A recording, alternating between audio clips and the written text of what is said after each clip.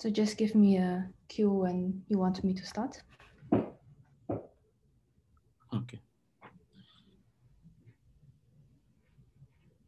Okay, yeah, welcome everyone. And then uh, uh, now we go to the next talk of the day. So by Nelly Ng, who will tell us about quantum information and quantum thermodynamics yeah, from Nanyang Technological University, Singapore. So thank you. The floor is yours. Uh, thanks, Obina. And uh, it's a pleasure to speak here. So I want to thank Camille for the invitation. And um, so I'm based currently in Singapore, but I just moved a couple of months ago from uh, Berlin. I finished my postdoc in Berlin just uh, earlier this year. And before I begin, maybe I just want to say something about um, speaking at the Quantum Thermal Conference uh, hosted by South Africa, because this brings back um, fond memories. I don't know how many of you were there, but seven years ago, there was a small workshop on, on the same topic uh, in Stellenbosch, uh, South Africa. So I spent the weekend in Cape Town. Um, I, I, had a, lot of fun, two weeks in Stellenbosch.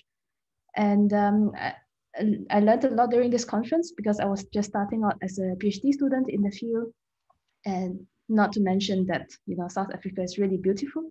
Uh, it's a pity that we cannot travel there this time around, but um, the program is still very exciting. And looking back, I also feel that uh, thermal as a field has progressed very much since uh, then. And I've, uh, I'm glad to be part of the journey. So um, we have already heard several excellent talks giving very nice introductions to different aspects of quantum thermal. So I can go through, you know, the first few slides pretty quickly. Um, I think it's fair to say that there are many different questions and directions in the study of quantum thermal. Um, there's the question of how the systems would relax and thermalize, uh, quantum many-body systems in particular. And a lot of this is uh, increasingly well understood, uh, studied from, from the perspective of eigenstate thermalization and looking at local observables. There is still room here, especially for strongly interacting systems which do not thermalize, uh, we will see some examples later of, of this.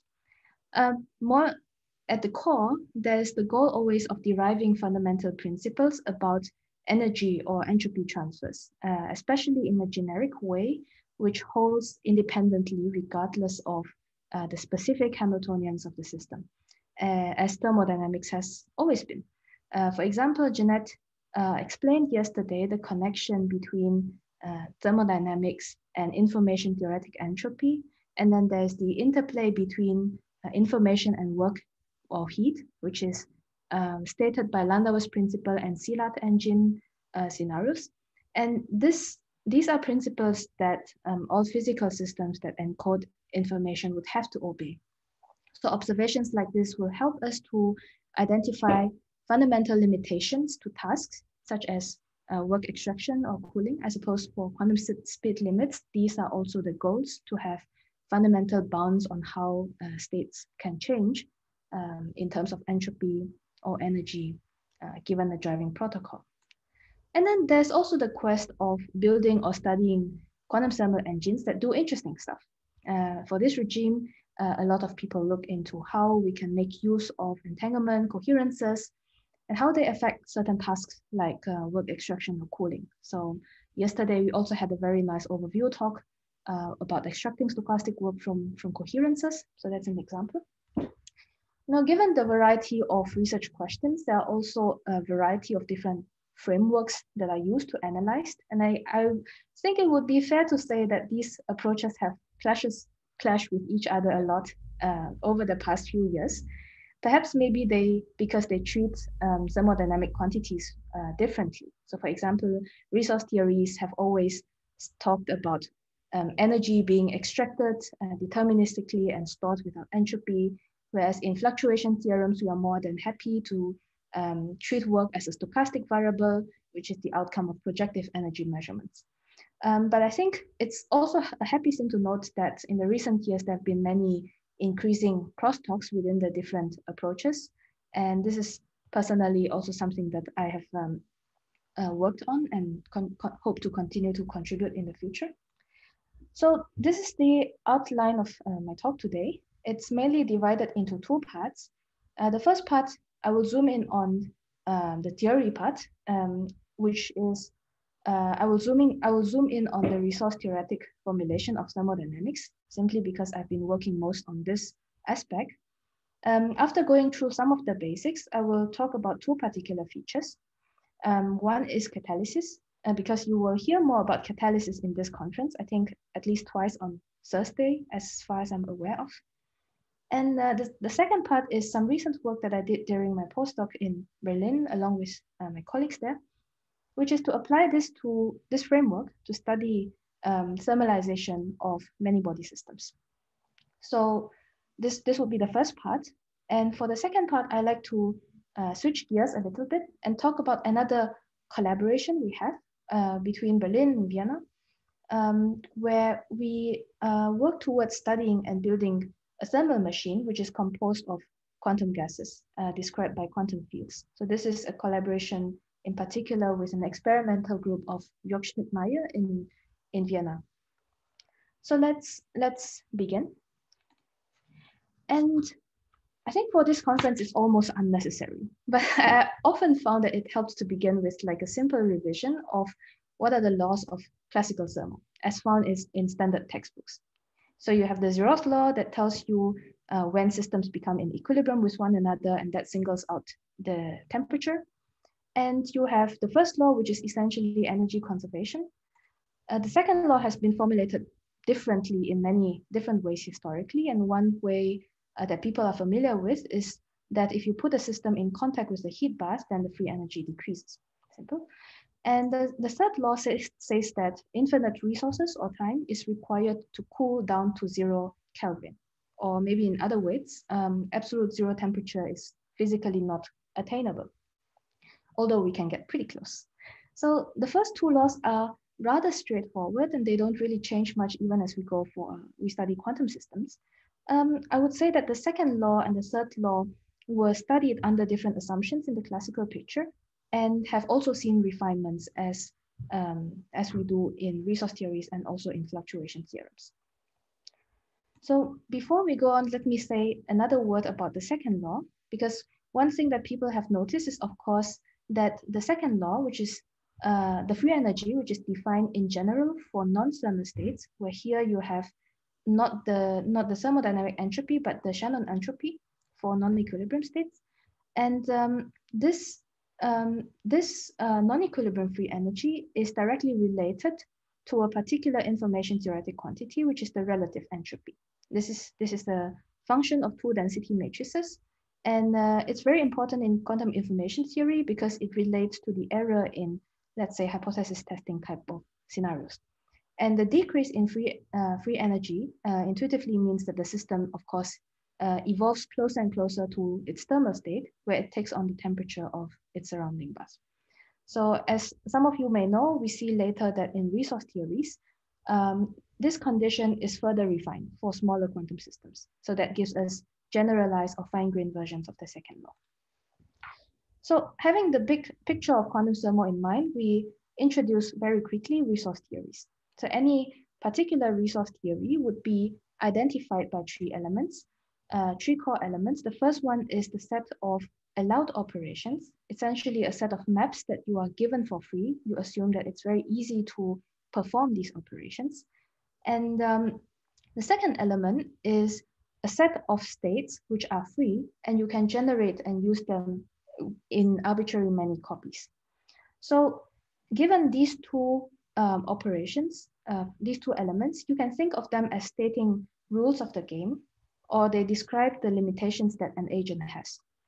And uh, you can think about starting now from an initial state, rho, which is non-free, and ask ourselves, if you are only given access to free operations and states, um, is it possible to get to a target state, rho prime?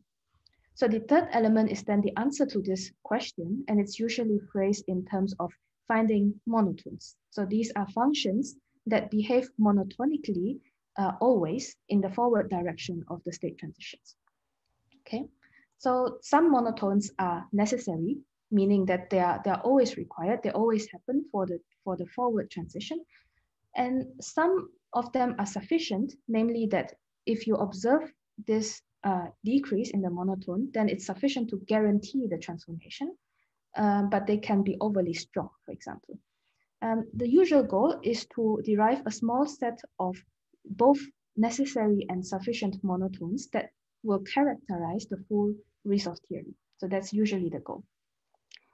Um, another remark to make is that in this scenario, we are often talking about what is called a um, single shot limit, which means that I have a single copy of rho and I want to, via a, deterministic protocol, get to a fixed target state rho prime. This is, of course, very relevant uh, when you have um, single instances or small amounts of uh, number of states. Uh, but there are generalizations of this. For example, people look at single shot probabilistic transitions. And then here you are interested in, for example, finding the maximum probability of successfully obtaining this target state. Or in particular, people look at what is called the IID limit, uh, standing for identical and independently distributed. Um, it's also known as the asymptotic limit, which means that you start off with a large number of identical but uncorrelated states, so they're all in tensor product, you are allowed to perform global operations on them. And at the end, you want to reach a final state. Um, you want to produce the final state, which is up to some error, close to many copies of a target state. Um, and you want to do that at a particular rate R. So um, when yesterday, Jan Janet highlights the re relationship between Shannon theory and thermodynamics, here in the resource theory, we see uh, precisely a large amount of known results from Shannon theory in uh, optimal rates of coding. Um, they can be then utilized to study optimal rates in thermodynamic state transitions. So let's let's have a, also a quick look at what um, a thermodynamic resource theory looks like. So first of all, free operations. Um, we want to explicitly account for all the energy sources and sinks in the global system. So the, the free operations are usually taken to be unitaries that commute with the global Hamiltonian, which might include many different systems. And as for the allowed free states, this is usually also without controversy, uh, namely that we take Gibbs thermal states of fixed temperature. And uh, some may um, object or clarify, since it's not clear that thermalization always occurs for any Hamiltonian, and that it's always easy to prepare, for example, a thermal state if I if I want to pick a random Hamiltonian. Um, to this, I think there, there are two answers. And uh, one answer is that um, actually, um, for most of the cases, we don't need to really have arbitrary uh, uh, Hamiltonians here, mm, but they will usually be state dependent. Um, you, you will have to have um, be able to take Hamiltonians, which has uh, gaps within the within the input state, so that you can uh, do these energy transfers. Um, but the reason for using Gibbs states here is also a very nice observation, uh, because Gibbs states have a very unique property, which is namely that if you are looking for energy preserving unitaries as your free operations, then the set of Gibbs states are the only uh, set of states that you can allow uh, so that the resource theory becomes uh, is non-trivial. So in, in other words, if you use something which is not a Gibbs state as a free state and you're allowed to generate multiple copies or infinitely many copies of this, then you trivialize the, uh, the resource theory by allowing um, all energy incoherent states to be uh, interconvertible to one another. And that's of course not, not interesting. So before I go on, I think it's worthwhile to stress two points, uh, which are perhaps often overlooked. Um, the first point is that um, this is, of course, only the simplest version of the thermodynamic resource theories. So variants exist to include more generic scenarios. For example, by using um, a switch, you can uh, have a scenario where the Hamiltonian of the system changes. So that kind of mimics like a driving force protocol. Um, we can also study resource theories where more conserved quantities are allowed instead of just energy. Um, I think the community still continues to update our knowledge on this front. And also this theory has been generalized uh, for Gaussian uh, continuous variable systems as well. Um, the second point is that yesterday we heard about the classical aspects of resource theories, namely that uh, free operations don't produce coherences in, in the global energy eigenbasis. And the free, free states, of course, are, are thermal, so they are not energy coherent as well. So nevertheless, let me complement that by stressing that resource theory still cannot be fully captured with a classical analysis. And that's because the input uh, state that we usually study have coherences, has, can have coherences. And um, also the free operations do allow for entanglement to be built up between different systems and also between system and bath. So it's, I think it's good to keep both the classical and quantum features of this, uh, the resource theory framework in, in mind. Uh, so to summarize very quickly uh, on resource theories, you have an initial arbitrary state rho. You're allowed to attach an ancilla bath, which has the specific Gibbs form. You're allowed to, of course, um, have any uh, unitary that commutes with the joint Hamiltonian uh, across the entire system and, and bath. And then at the, at the end, you trace out the bath. So um, the second law would then be the set of conditions that characterize the state transitions. And um, we find, for example, that the free energy is a necessary monotone, but there are, of course, more, many more such monotones, which are usually referred to as generalized free energies. Uh, what's more, the third law is, of course, uh, is shown actually to be rigorously derived as a special consequence of one of the, the generalized second laws. So in this framework, we capture uh, the four basic laws of thermodynamics um, as an overview. Uh, let's move on to catalysis.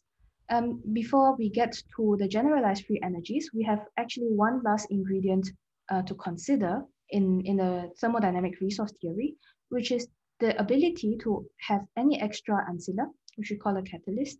And the, the rule is that you can prepare this in any arbitrary state you want and use it freely in the process, as long as at the end, you return it to exactly its um, original reduced state, and it should be uncorrelated from the system, for example. And you can think of having a piston in a, in a heat engine that undergoes a cycle, and this is in principle a catalyst because you don't want it to, to change and you want to reuse it for future. So we, with this, we, we show that um, the generalized free energies are necessary conditions for such state transitions they, they hold for arbitrary uh, input quantum states, even for those with, which uh, have coherences. Um, they uh, have a form like this, and notice that they can be decomposed in a very similar way that we did for the non-equilibrium free energy. But instead of having the relative entropy here, you have a family of entropic measures called the quantum Renyi divergences. So these are, of course, named after, after the Hungarian mathematician Alfred Renyi, um, they are parameterized by a real number alpha.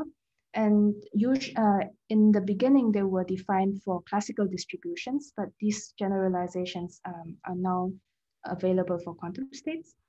Uh, the divergence are very similar to the relative entropy, except that they, uh, I say they capture different ways of distinguishing the two states, which are relevant in the single shot scenario. So whereas we know that the relative entropy from, from information theory, its operational significance only comes in, in the asymptotic IID limit. So the set of um, second laws would tell us that via the thermodynamic resource theory, the system can only evolve in a way that approaches the thermal state, but jointly constrained by all of these, these quantities. Um, just two remarks. Um, for the limit where alpha goes to one, you have the um, usual relative entropy, which means that you recover um, the, the non-equilibrium free energy as, as a necessary but insufficient condition for state transitions. And that this, the fact that these uh, quantities are monotones is actually a direct consequence of having data processing um, inequalities.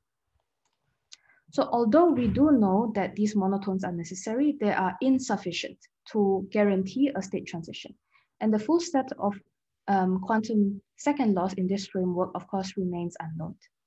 However, if we restrict ourselves to energy incoherent input states or output states, actually, uh, as long as one of these are energy incoherent to begin with, then what we see is that these generalized free energies become both necessary and sufficient. So if you check all these conditions, then one can prove the existence via this, um, that there exists a bath, there exists an energy preserving unitary and a catalyst that enables a transition, which is why these are, um, I guess, powerful tools uh, that people have been using uh, in resource theories to study thermodynamic state transitions. So another thing in this framework, which is nice, is that we also understand in a clear way why exactly the standard free energy emerges in the classical limit. And this is um, because the generalized free energies converge to the standard free energy in a number of scenarios which are related to the micro macroscopic limit. So the first scenario is when uh, we take the IID limit and apply all these generalized free energies. And we see that uh, from a mathematical result on these entropies, which is known as the asymptotic equipartition um, theory, that all of the generalized free energies will converge as n grows to infinity back to the standard free energy. And this makes sense because um, I guess in, in classical thermodynamics, it's we are talking about large um, large uh, bulk systems, for example. Um, but I think there's also another interesting um, way to get this reduction, and you will probably hear more from Markus Müller about this uh, on Thursday, is that if you require the catalyst to be exactly returned, but allows it to be correlated with the system, even after tracing out the environment. And in fact, this is what Markus showed at some point, um, that one can always construct um, high dimensional catalysts such that the free energy again uh, matters. And this is rather special because it's, it's one of the rare instances where, I mean, not only in thermodynamics, but even in quantum information theory, where the relative entropy gives um, characterization for a single shot uh, transformation.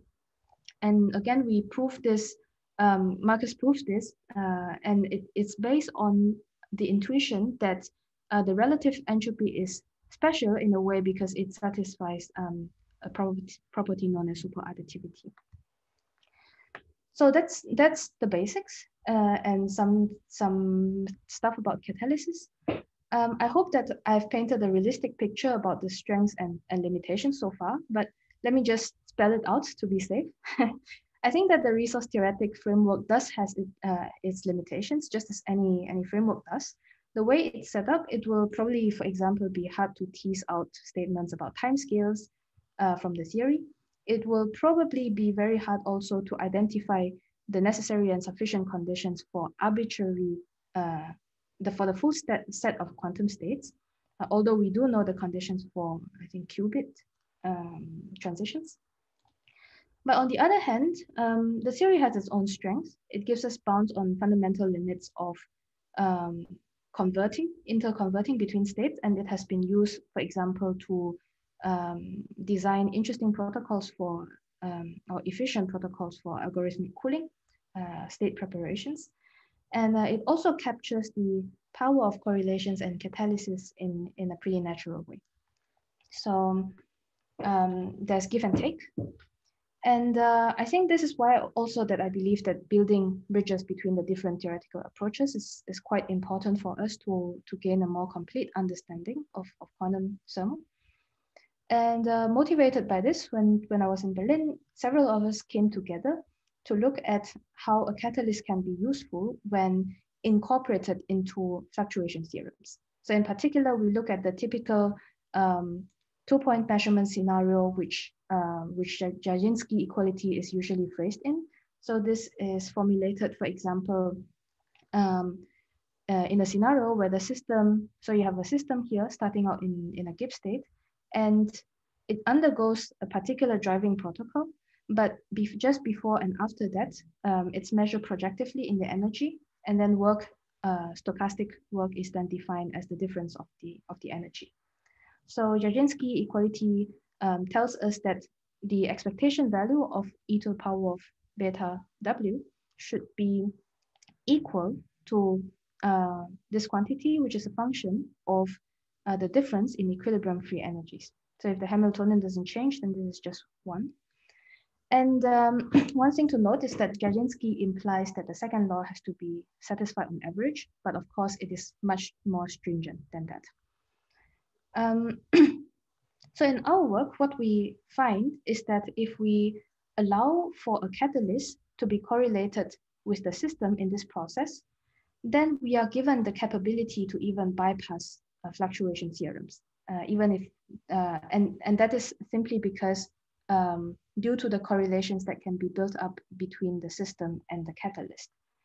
So um, this itself is not maybe the most surprising thing, but the more, most surprising thing that we find is that we are then, um, although we do still need to satisfy the second law on average, but with a catalyst in the fluctuation theorem setting, we are actually given the power to perform large amounts of work extraction from a heat bath, but with non-vanishing probability. So this is something uh, still I, I find still a bit mysterious about this work. And um, so I think there's there's still more to be to be studied in uh, in this aspect. But but I think that it was uh, cool to be able to take um, catalysis, which had never been studied in, in the other approaches before, and try to look at what happens when we use it in, in fluctuation theorems. So, um, yeah. yes?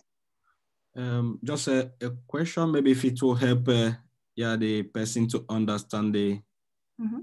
what next. Uh, Alam, uh, say, could you please explain what a unital channel? Ah, sorry. So I skipped that part. I think unital channels are basically all channels that preserve the maximally mixed state. Okay. So for example, all unitary channels would be unital, but um, basically a unital channels is a superset of all unitary channels. Okay, that's nice. Okay. Thank you. So um, let's come to a, a recent work on many-body physics, where we have uh, applied resource theories to study um, thermalization for these systems.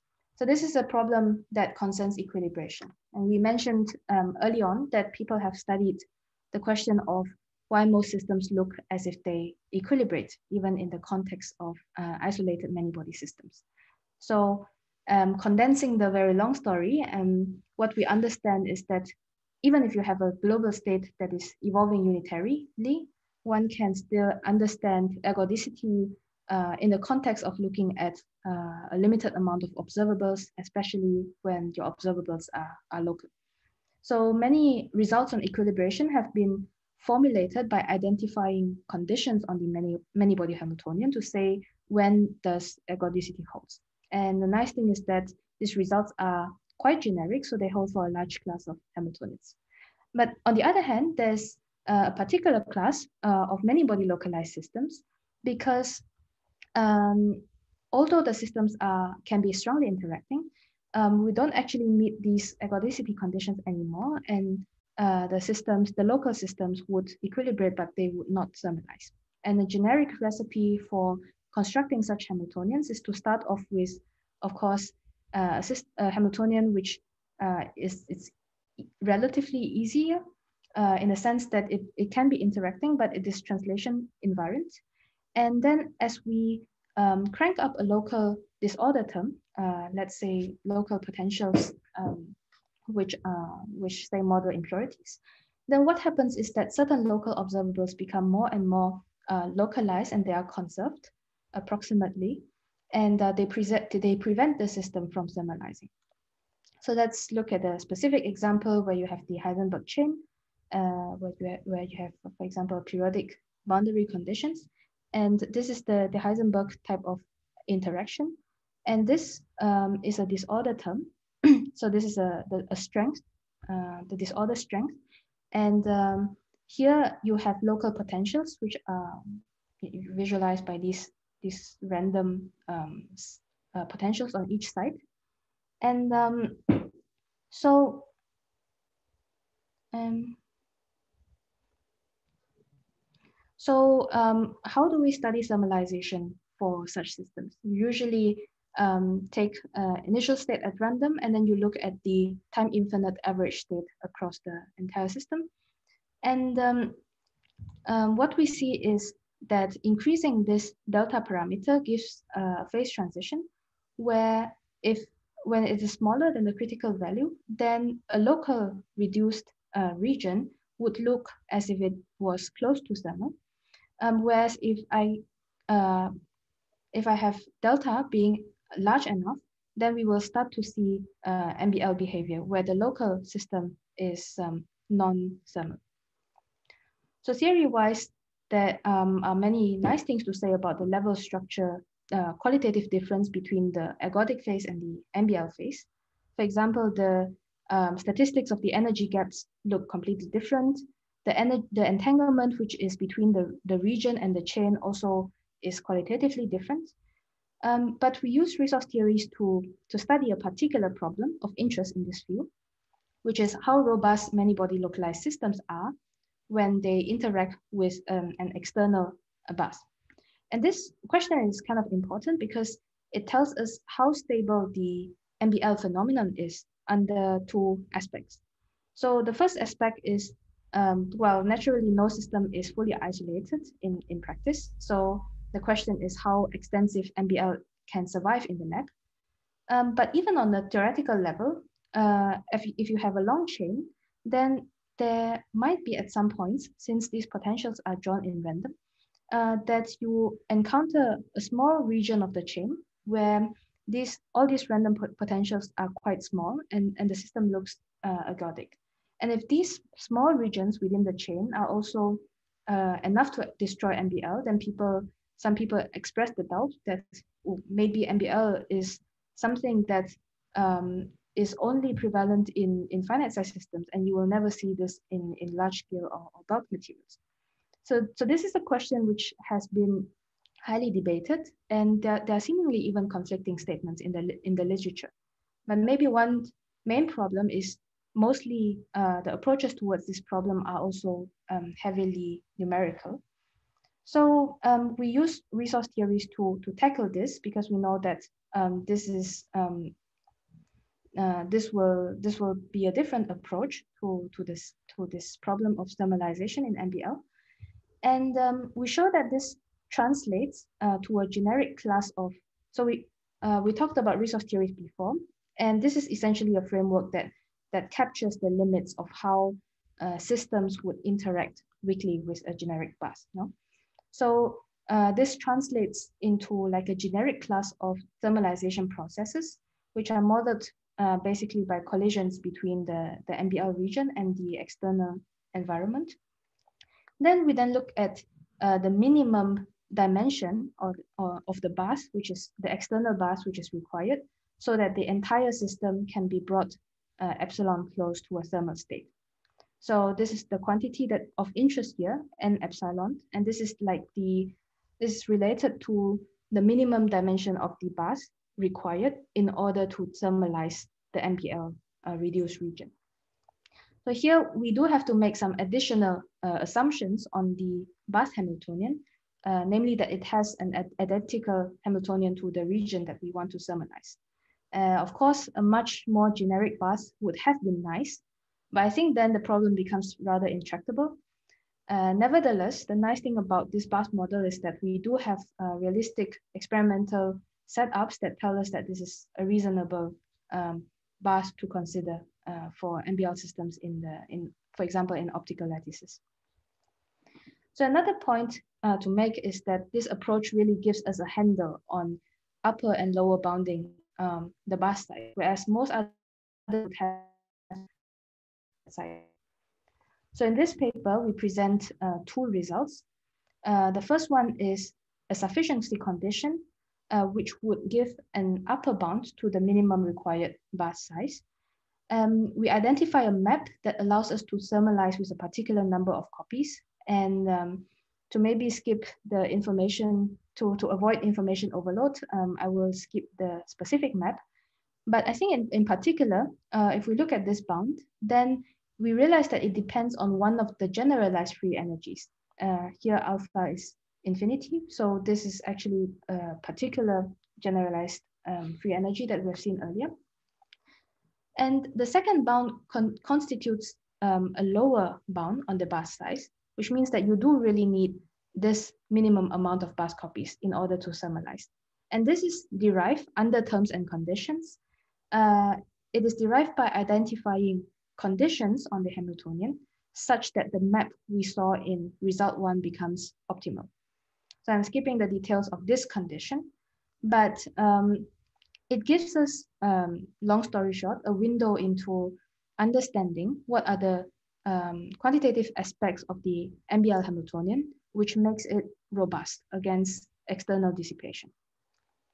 So note that this um, lower bound is also dependent on Dmax, uh, D infinity in an exponential way, so that when um, the condition is satisfied, then we have a quasi-optimal solution to uh, the minimum bath size required. And uh, the short conclusion to this is that uh, if, if this condition is satisfied, then the MBL chain is actually pretty ro robust and it requires a relatively large bath in order to, to thermalize this. And of course, um, I think this is just a first step into studying the robustness problem. Um, I think there remains a lot of improvements that we can do in this direction. Uh, but I, would say that we were, we were pretty happy to see resource theories applied appropriately to a many body physics problem. And in the process, we could also utilize some, some technical tools which were originally developed for uh, quantum communication, actually. And we will be able to then translate that into the study of thermalization. So I think I have maybe 15 minutes more for the next section, um, where I want I wanted to switch gears and tell you uh, a bit more about the recent work that we have on, on quantum field thermal machines. Uh, this is done in collaboration with a large team in Berlin, in Vienna, and Lisbon, uh, where we study the potential of using a quantum gas, which is trapped in a one-dimensional system, uh, in order to build a thermal machine.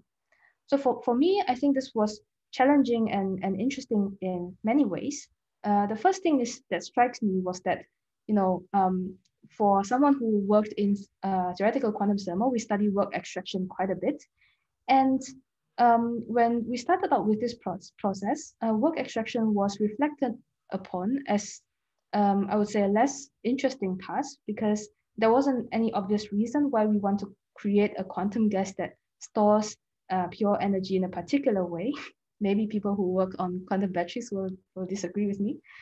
Um, but also there wasn't um, a way to, for example, do projective measurements on uh, energy measurements on quantum gases um, because it's a complicated many-body system.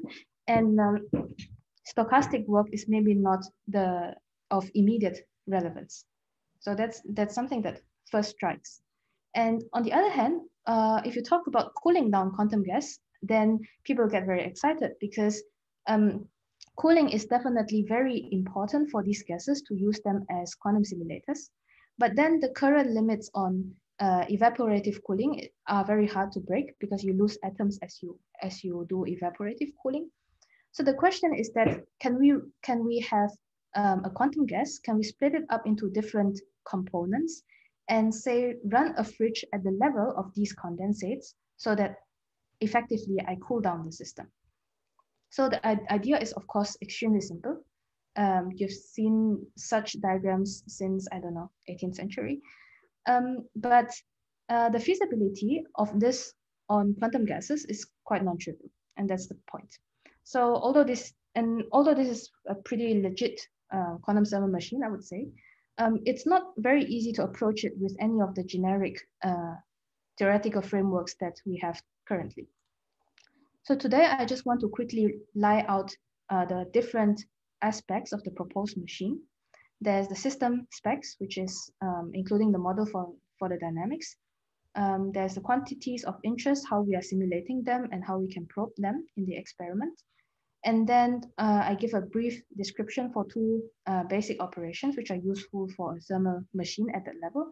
And uh, we look at some of the main accompanying feature. Okay. So um, let's start with the system specs because we have in mind a particular uh, setup, which is built by uh, Jörg Schmiedmayer's team in Vienna. They have rubidium atoms, which are trapped uh, transversely in two directions. So you will have one remaining uh, longitudinal direction where the atomic cloud uh, sits on this nanowire. So for these 1D uh, systems, uh, if you go to low temperatures, then, then the dynamics of this uh, system is very well described by non-interacting uh, theory of phonons. And uh, how do you, the question is, how do you control these condensates? For example, how do you put them in heat contact and, and etc.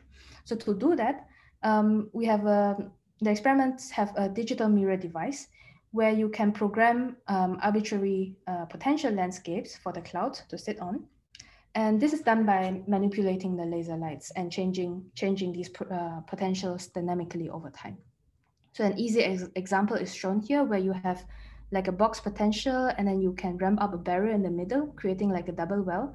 Uh, this would split the quantum gas into two, or you could do the reverse process by coupling the two condensates by lowering a barrier. So um, what is the appeal of these systems? So um, it is on one hand, unlike a full-fledged macroscopic uh, classical systems, because if you were splitting or merging two uh, macroscopic thermal gases, then this has already been very efficiently described by classical thermodynamics. But on the other hand, um, this is still a sufficiently complicated many-body systems. It has a large number of degrees of freedom, and it's not very easily tractable. But you do have some interesting physics here because um, for example, the experimental data uh, suggests that in for low enough temperatures and for certain parameter regimes, this, the system follows um, the Sine-Gordon theory, uh, which is actually a non, non-Gaussian uh, interacting theory, which is hard to analyze uh, in a theoretical way. So the system can actually act like a quantum simulator to study this, this interacting model. there are also a handful of nice effects that people have uh, observed in this system uh, for example, that due to the presence of uh, other conserved quantities which you can generate, uh, you can observe equilibration uh, to a non-thermal state. Um, and also because you can create these well-isolated uh, quantum many-body systems, um, they don't thermalize at the global level, so you can see recurrences. Um, namely, even though you have a few, few thousand atoms and it looks like a, a thermal gas, roughly speaking, uh, you can see observables that look like they are going in and out of equilibrium. So um, these are some of the defining features of thermodynamics in, in such a many-body coherent quantum system. Um, let's see how much time do I have.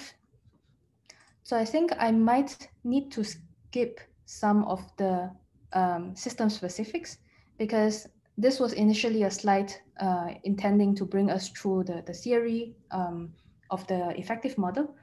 Um, but I think um, short story short, uh, long story short, is that uh, you usually have um, the Lieb-Liniger uh, fully exact Hamiltonian, which describes uh, how what the, the Hamiltonian that the that the atomic cloud feels.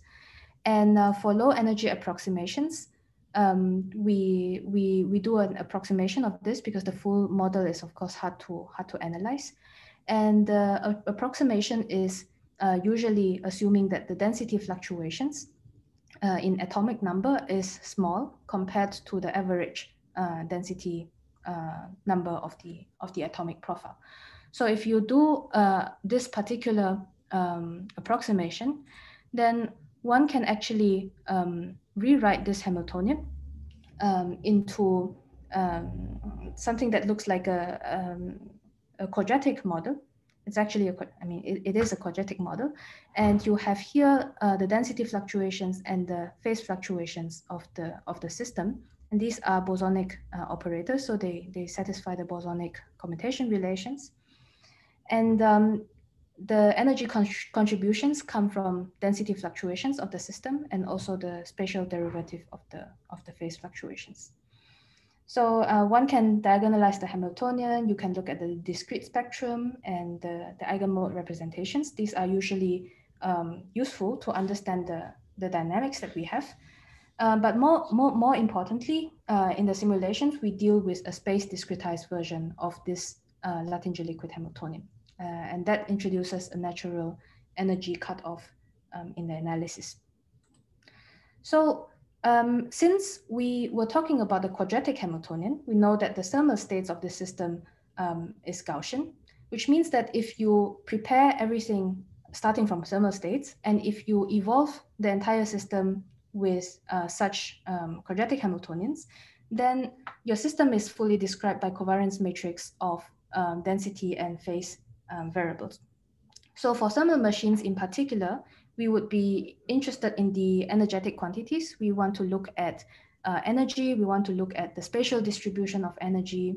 Uh, we want to be able to access entropy and relative entropies because that gives us um, correlations and maybe also entropy productions. Um, these are going to be uh, straightforward functions of the covariance matrix, in, in particular their symplectic eigenvalues. And uh, perhaps it's also worth mentioning here that the formulas for general quantum Renyi entropies have also been derived for these uh, Gaussian states. So we are in a good position to then study uh, single shot quantities if we do have access to the, to the covariance matrix. Now, of course, in the simulations, we can simulate everything and do what we want, right? But will we have access to the covariance matrix um, as uh, observables of the experiment? And this is non-trivial, of course, because um, for many body setups like this, um, one usually sets up the system to measure uh, only a, an, a, restricted number of observable, observables. So for example, you can set up the imaging to uh, look at density uh, fluctuations, uh, but then you lose the information on the phase, or you can do it vice versa. So it's it's hard to actually be able to access the entire covariance matrix with, with one uh, experimental setup. Um, so how does one, uh, how, how can one do that? So a partial answer to this is that um, you this will still be doable if you are willing to assert knowledge about the underlying dynamics to be the governed by the Luttinger liquid, uh, which I find that the experimentalists are glad to do. because if your dynamics is given by the Luttinger liquid, then um, we are able to then uh, prepare the systems identically. And you, what, what happens is that you measure the density operators, but at different time snapshots. And that allows you to access the other parts of the covariance matrix uh, in the initial time. So one can do this if, as long as you stay within the time scales where you know that the Luttinger liquid is a good approximation. And this was rigorously shown in uh, Gluza et al., um, which is my colleague in Berlin. And essentially, this is how one can do Gaussian state tomography on this entire many-body system, which is otherwise gonna be quite hard. So that's um, the brief picture of um, what this looks like. I think in the interest of time, I will also um, speed up even more. and so we have uh, five minutes. Yeah, I have five minutes. Yeah, for questions time. Okay, so I'm I'm at the uh, last part of the the the three uh, elements of this machine, which is to talk about uh, what are the operations that we want to perform, right? So if we think about the fridge, then there are two obviously crucial things we should do. We should be able to put systems in heat contact.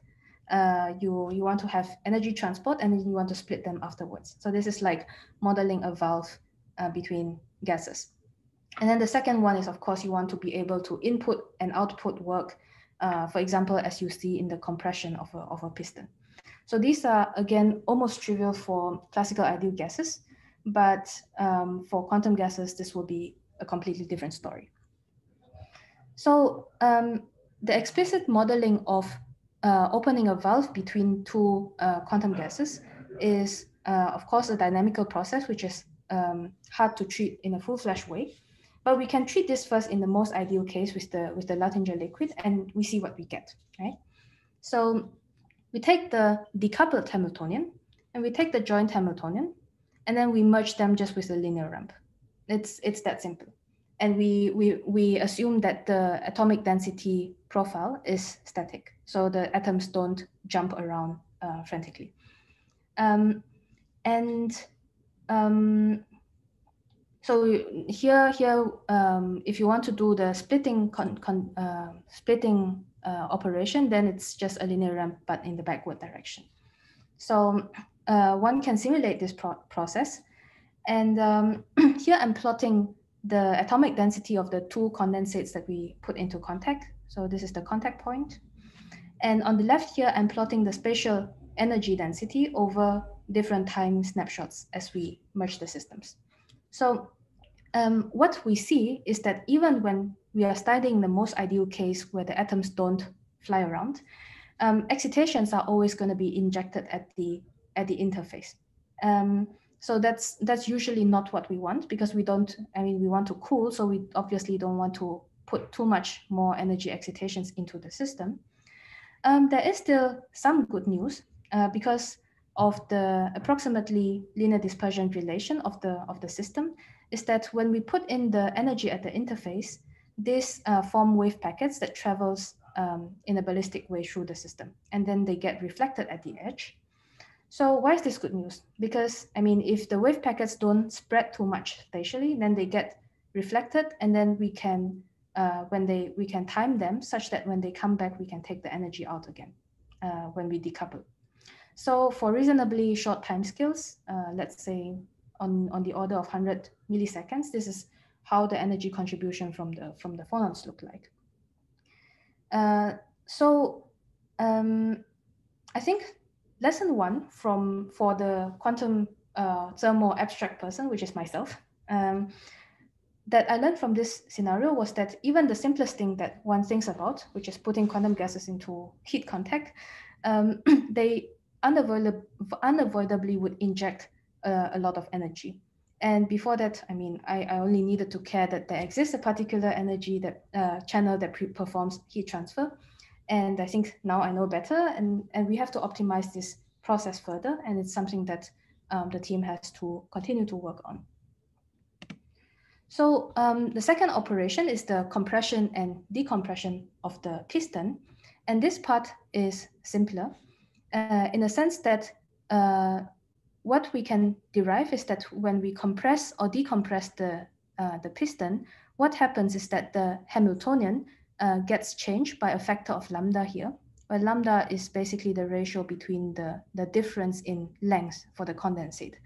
And if we look at how lambda enters uh, the Hamiltonian, we see that uh, it contributes to the uh, phase fluctuations and density fluctuations in a very asymmetrical way. So what happens here is actually that the modes, the eigenmodes get uh, squeezed and energy is uh, injected into uh, the, the piston as well.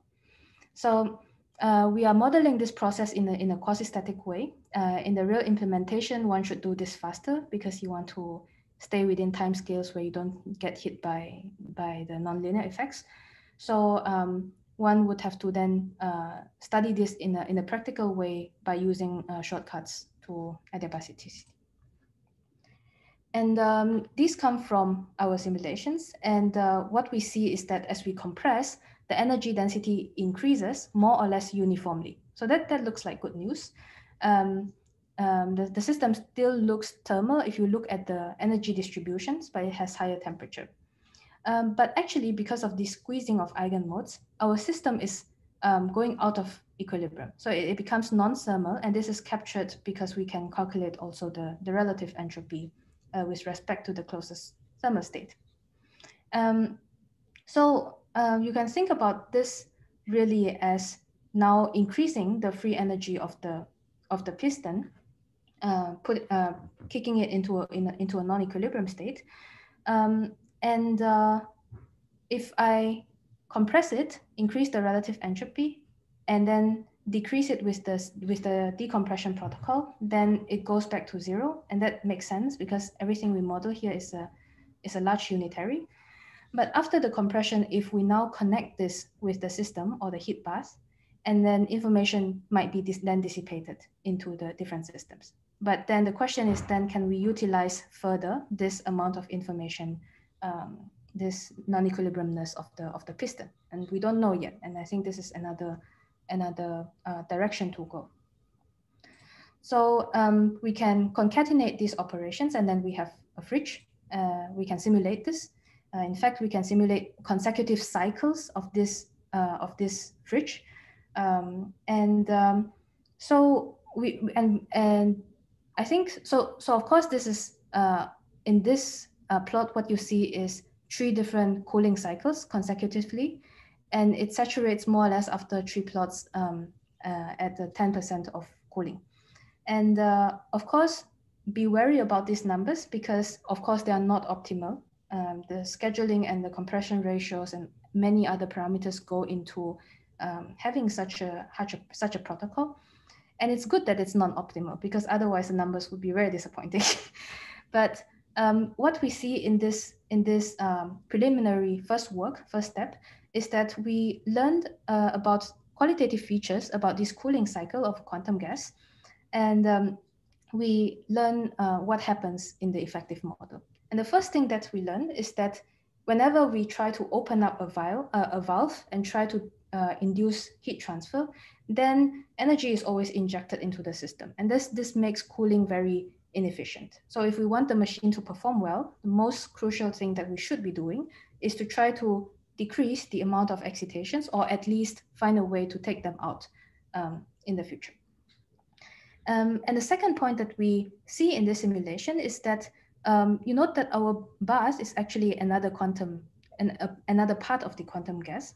So it is also a finite size condensate and it is non, non-Markovian. And this is currently detrimental for us because the excitations that are created that, that travel into the bath, they get reflected and then they come back as uh, the piston is trying to dump further in energy into the bath. But this might not need to be the case. So we have to find clever ways to, to go about this. So that's, uh, that's more or less like a preliminary study. Um, finally, conclusions. Um, I, I found it hard to make a conclusion slide, to be honest, given that I switched gears and talked about several different things.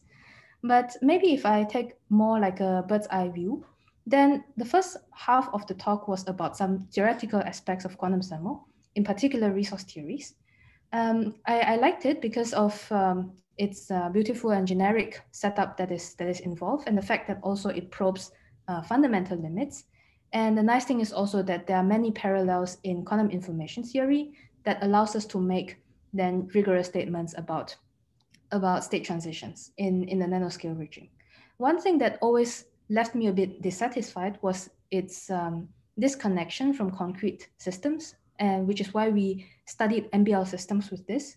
Um, uh, well, uh, the second half uh, was a very practical and particular thermal machine, and that is quite the opposite. So things can get pretty messy. You have a lots of um, non-ideal excitations, and it's it's hard to analyze the whole thing theoretically uh, we have a pretty system specific description of what is going on. But once we get past this change of mindset, then I find that this investigation has allowed me to learn um, rich, rich many body physics on, on a very concrete platform, which was very fruitful.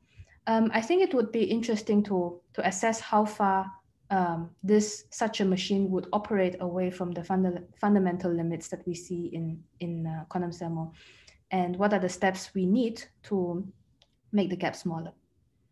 So um, lastly, I just moved to Singapore and I'm starting to build my group there. So I'm looking for people who are interested to work on aspects of, of quantum thermal. So if that's you, um, feel free to, to write. And uh, lastly, have a great conference. I hope everyone stays safe. okay. Thank you, Nelly, yeah, for the wonderful your presentation and joining to the resource theory, framework of uh, thermo, quantum thermodynamics, and then application to the MBL. So we already have a yeah, couple of uh, questions. So uh, first, uh, yeah, Rupini asked, yeah, we in the slide when you are discussing uh, uh, Jarzynski in inequality, mm -hmm. the definition of uh, work in resource theory, whether the population of the states have a role to play? Um, so I am not super sure what does what does Ropini mean by uh, population of the states, but here we are actually not in a resource theoretic scenario because um, as you see, we are here in a two-point measurement scenario, which is standard for fluctuation theorems. Uh, in particular, what you do is that you prepare um, the initial state, which is um, a thermal state. You measure uh, you measure in projectively in the energy eigenbasis. You have the driving protocol, and then you measure again um, in energy. And then this uh, gives you um, stochastic work variable defined. Um, so this is this is not, I would say it, it is not a conventional way of defining work in the resource theories, but it is very standard for uh, studies of fluctuation theorems. Does that make sense? I think uh, that makes sense for me. yeah, I don't know. So uh, then the next question uh, was um, when you are talking uh, on the MBL. Yeah. So the. So, yeah, I kind of rushed through that part. So uh, this relates to what is bath size, right? Yes. And, so uh, yes. what exactly do you mean by? Yes. So um, of course, uh, if you think about bath size, you think about the first thing you think about is maybe dimension of the of the bath. So here, what we have is actually because um, I mentioned that we have further restrictions on what what the bath um, Hamiltonian looks like. In particular, we are taking the bath to be um, to the bath Hamiltonian to be basically n copies of the system Hamiltonian. Does that make sense? And and uh, n so n epsilon here would be the amount of bath copies where the where the um, one copy basically has the same Hamiltonian as uh, the reduced state on, on a region. So for example, if I look at this chain, and if my goal is to thermalize these two lattice sites, then uh, you have a Hamiltonian on this um, reduced region. Mm. And my bath is basically n copies of um, the Hamiltonian on such a region. Oh, uh, yeah, that's the question. Do any other person have any other question? So uh, yeah, I can ask a bit on the implementation yeah, the, of the cooling. So when you say about this change yeah, parameter lambda in time. So that's mm. the, when you mm. try to apply yeah, to this um, yeah, cooling cycle. So how fast yeah, you can change this? Yes. Mm. So yeah, how fast do you do you, have like a limit where you drive this then maybe in a short time and then yeah, uh, so, start to see some either yeah so so this is this is definitely uh this is very relevant because the the speed where you drive this compression and decompression will definitely change um, the state that you obtain on the on the condensate. And here for the for the simulations that we show here, uh, what we did was a very and extremely slow uh, compression, where we we we uh, take many trotter steps and basically it, at each step we kind of compress only by a small amount, and uh, we assume that basically the the eigenmodes stay uh, more or less the same in this in this process. So it's it's like a quasi-static type of of process. And uh, if you want to actually model um, how the quantum gas reacts to a moving boundary that has a, a non-zero velocity, then this, this is going to be much more complicated and that there is a lot of literature actually uh, describing such uh, dynamics of these quantum gases. Now, um, there are, uh, Jörg at some point uh, mentioned to us before that there is the possibility of uh, doing this process in a in a short way by having like a uh, quadratic trap and just closing the trap very quickly with a quench. And uh, that makes use of some, some results on uh, shortcuts to adiabaticity. Uh, but those are not studied yet in, in the current stage of, of this work. Okay, thank you. Uh, so in absence of yeah, I, I have just one small comment. I mean, uh, okay. question maybe. I mean, yeah, since you, you, you're speaking of that. So in, in the previous uh, system, I mean, so you, you, you talked at some stage of uh, realizing thermal matching mm -hmm. gas And I was just wondering, because um, experimentally, I guess for most system it's quite easy to to to implement. I mean, to have thermal bath uh, because naturally, unfortunately, uh, most quantum, I mean, most system have has have, I mean, sorry, are in contact with the with the bath. Mm-hmm. But if you want to do a thermal matching, you will need two baths at two different temperature, and then mm-hmm. uh, experimentally it can start to be very complicated to do that. So I was just wondering if you already have some ideas how you would implement that in, in that setup, how you would realize two uh, thermal baths at two different temperature. Mm. Um, this is not the most easy thing to do in uh, in a setup of quantum gases because usually what happens is that you load uh, the atoms on the on the trap and um, so uh, let me quickly go to maybe one of the slides. So usually what happens is that you start off with a, with a single condensate and somehow you load the, the atoms into this trap and then you can then split this condensate into different parts and then uh, you, you have a finite size bath here and then you have a piston, you have a system that you want to cool. And of course you could maybe already load them in different, different uh, boxes uh, so that they start off all uncorrelated. That might be possible. But usually the main thing that makes this very different from the from the usual thermal bath is that um, they are pretty small. So this system is maybe a couple of um, 100, 200 micrometers.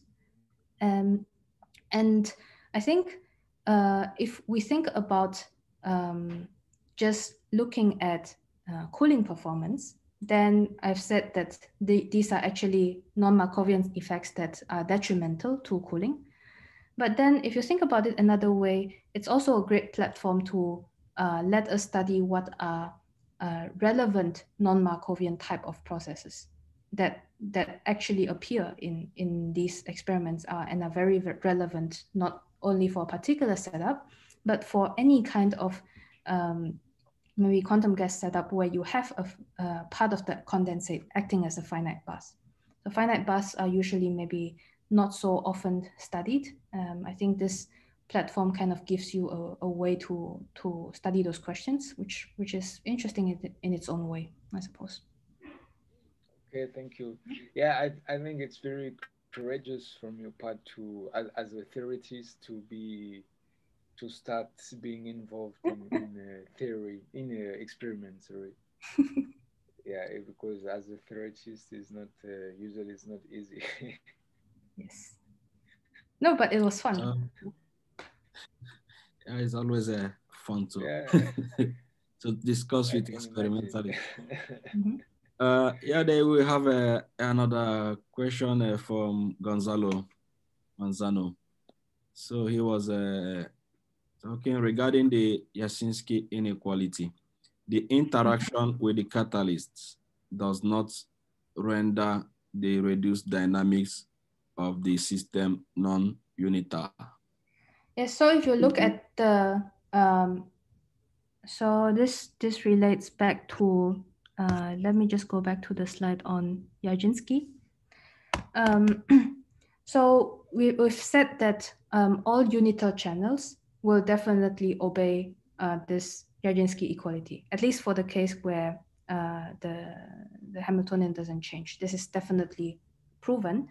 And since the catalyst um, allows you to violate Jarzynski, then it means that the channel that acts on the system is definitely not going to be unital.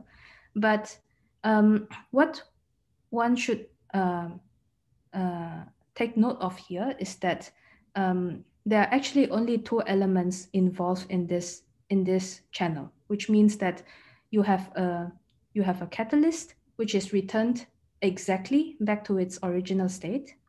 So nothing nothing fishy about that. It's returned to its original state. And you have a unitary, which is unital, that goes across system and catalyst. So it's like an extension uh, of a unitary channel, but with a catalyst that stays um, locally the same, uh, but correlations are then allowed to build up between system and catalyst. So that's that's the scenario. And because it can violate Jarzynski, of course it's not it's not unital, but it is only a very simple extension from a unitary channel. Yeah. Okay. So thank you all. And uh, I will say on these notes, then we'll all thank uh, Nelly for the wonderful presentation. And then uh, any other further question, yeah, you can easily, yeah, probably email.